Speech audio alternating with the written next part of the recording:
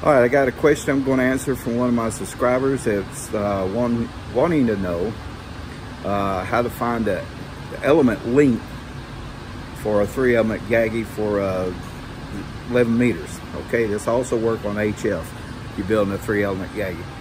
Right here, there's the formula for the reflector driven and the director element for a three element Yagi. Uh, the spacing of the elements, I use uh, Maco specs on that, like M103C. You can go to Maco's website and get the element spacing basically from um, the reflector to the driven is seven foot three and then it's four foot one from the driven to uh, the director. So the boom's 11 foot seven inches long overall.